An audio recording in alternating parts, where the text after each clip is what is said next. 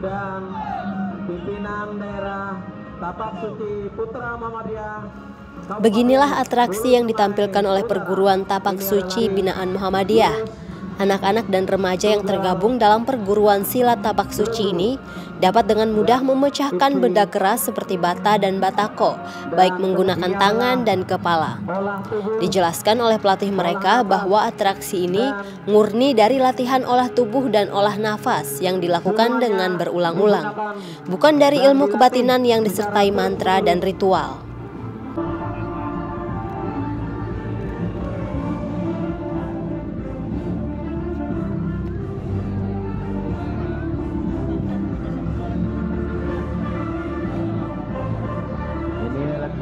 Api.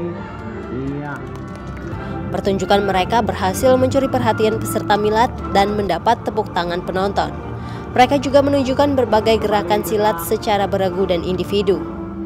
Selain atraksi bela diri, anak didik dari sekolah Muhammadiyah juga menunjukkan tampilan lainnya, seperti tampilan drum band dan pasukan baris berbaris. Tivita Balong mengabarkan. Mempunyai